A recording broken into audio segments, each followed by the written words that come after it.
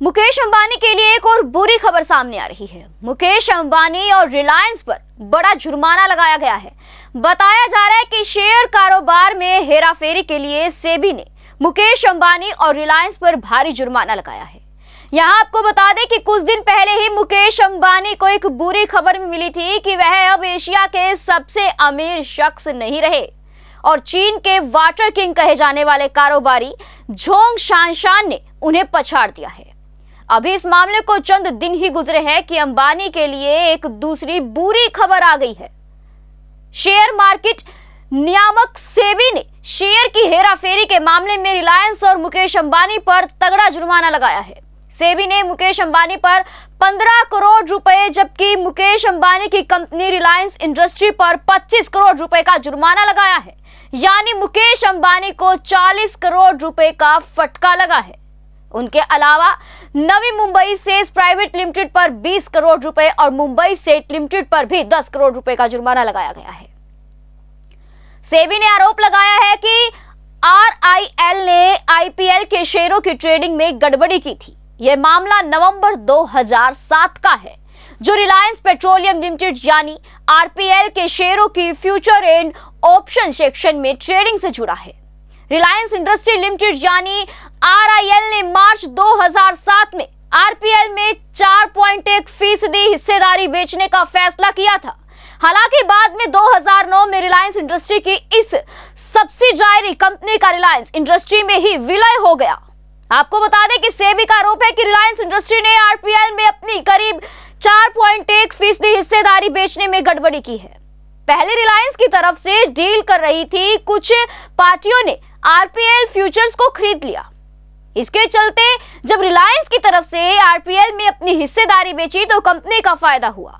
क्योंकि RPL futures खरीदे जाने की वजह से फ्यूचर एंड ऑप्शन सेगमेंट में आरपीएल की सेटलमेंट की कीमत कम हो गई। सेबी अधिकारी विजय दिलीप ने अपने पचानवे पन्नों के अपने आदेश में कहा कि सिक्योरिटीज की मात्रा या कीमत में कोई भी गड़बड़ी हमेशा बाज़ार में निवेशकों के विश्वास को चोट पहुंचाती है और वो बाज़ार में हुई हेराफेरी में सबसे अधिक प्रभावित होते हैं। उन्होंने कहा कि इस मामले में आम निवेशक इस बात से अनजान थे कि फ्यूचर एंड ऑप्शन सेक्शन में सौदे के पीछे रिलायंस इंडस्ट्री है। सुनवाई अधिकारी ने कहा कि कारोबार में गड़बड़ी से सही कीमत बाहर नहीं आती। उन्होंने कहा कि मेरा विचार है कि गड़बड़ी किए जाने वाले ऐसे कामों को सख्ती से निपटा जाना चाहिए ताकि पूंजी बाज़ार में इस प्रकार की गतिविधियों को रोका जा सके। इस बारे में फ़िलहाल आरआईएल से कोई प्रतिक्रिया नहीं मिली है। उम्मीद है कि जल्द ही रिलायंस इस पर अपना पक्ष रखेगा।